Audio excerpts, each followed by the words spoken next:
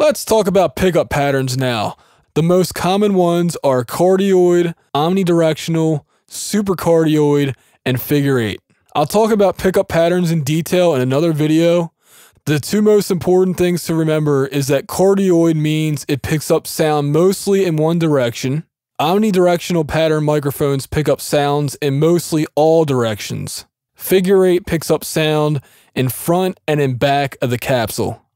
The most common accessory you'll run into is the microphone clip, and that is where you mount your microphone onto so that that can be mounted onto a stand. Another form of a clip is called a shock mount, and this is actually a more advanced and better form of mounting. And this basically minimizes any movement of the microphone, which will result in microphone noises happening. Mic clips and shock mounts have different thread sizes. I believe there's two common ones because you'll get the standard thread size that goes on pretty much all the stands I've ever used. And then there's also a thread adapter, which I'll show on the screen right now, which is a smaller mount. So if you have a stand that requires that, then yeah, get an adapter.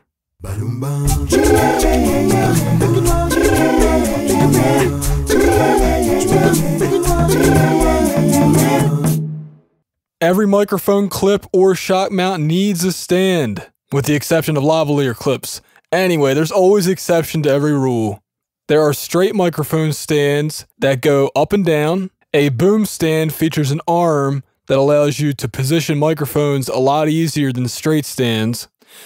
Tabletop stands are perfect for desks and tables. And finally, you have gooseneck stands that allow for even more precise positioning versus a boom or straight stand. The vast majority of stands feature collapsible parts so that you can store and transport them a lot easier. The better stands are longer, heavier, and therefore can support more weight. They're also typically more expensive. A counterbalance weight may be necessary when using a boom stand. You can also drape sandbags over the stand legs so that they don't fall over.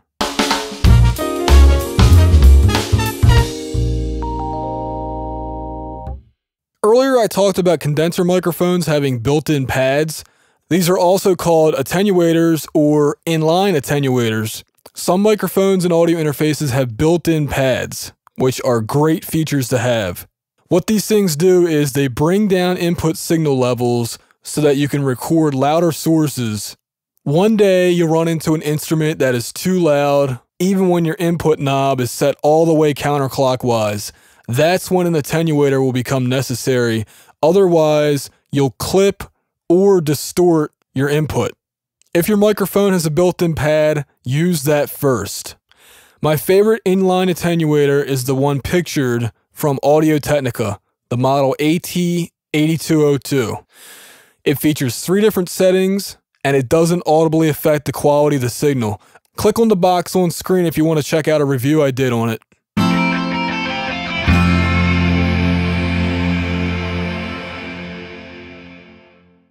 Next up, direct boxes. These are also known as direct inputs, direct injection, or high Z inputs. High Z refers to high impedance. They're commonly used to record the signal of an acoustic guitar, electric guitar, bass guitar, or keyboard. They translate an instrument signal to a microphone signal. Otherwise, it sounds weird and doesn't work properly. Standalone direct boxes like the Radial J48 or Countryman Type 85 offer more recording flexibility and possibly better quality than built-in instrument inputs. If you use an interface as direct input or DI, like the Triton Big Amp, you can't record a guitar speaker along with the direct signal.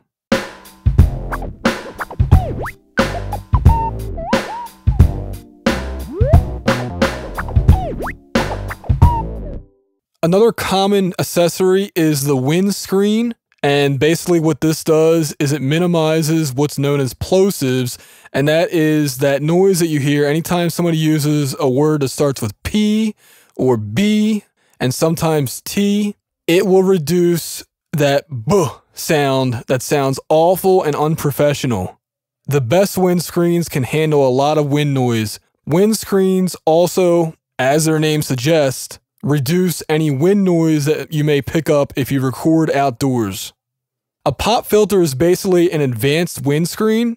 You stick it in front of a microphone, and in the case of the Stedman Pro Screen, it redirects the air downwards so no air at all hits the microphone capsule. It's a brilliant design. I highly recommend it if you record vocals, which pretty much all of us will at some point.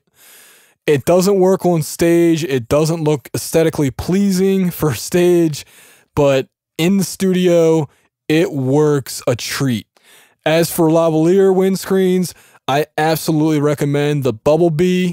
I did a review on that. Click on the box on screen to see it. And I also reviewed the Stedman Pro Screen XL in another video.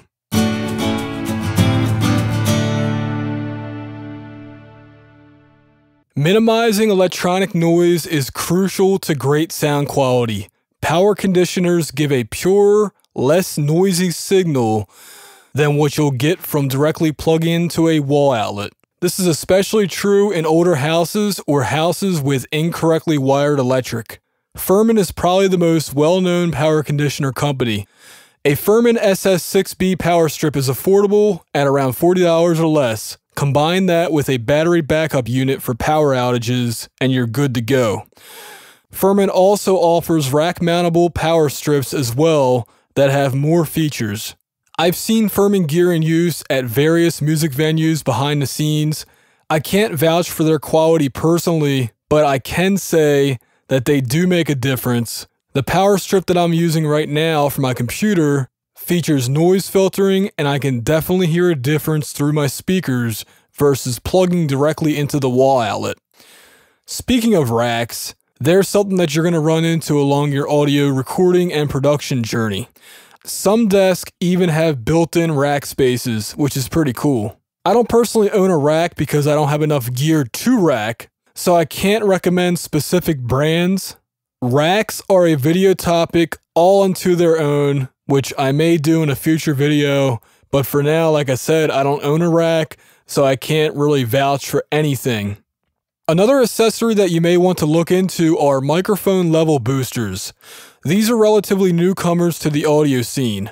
The Cloud Microphones Cloud Lifter series and the Radial McBoost are two ones that I recommend. I think they might actually be the only ones that are out there right now. As I said earlier, Dynamic microphones oftentimes have low input pickups. This includes ribbon microphones. A microphone level booster takes advantage of phantom power and boosts the signal strength without adding any extra noise. Just make sure that you use a short cable between the microphone and the booster, 3 feet or less. Oftentimes, cheaper audio interfaces don't have enough preamp power or the preamps are too noisy at higher levels. These accessories are really great to own. I'll get to what preamps are later in the video.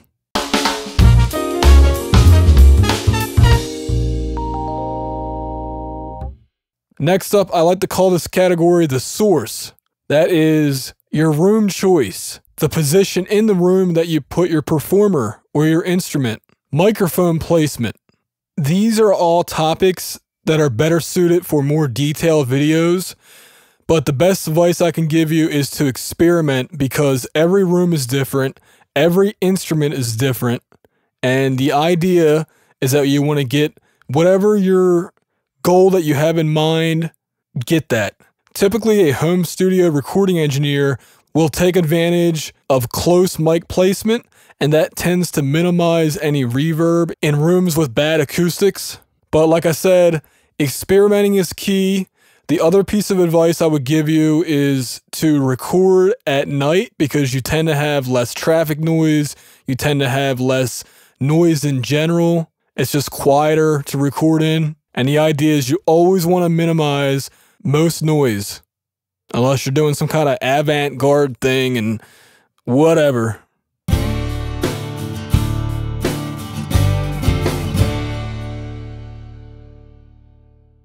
Oh yeah, my favorite topic. Well, not really. Uh, DAWs, which is short for digital audio workstations, and we have our favorite thing, which is the audio interface driver. Well, I actually have more in depth tutorials about these, and I can just tell you that the most used, most universal DAW is called Pro Tools from Avid. The one that I use is Reaper by a company called Cockos. Two other common DAWs are Apple's Logic Pro and Steinberg's Cubase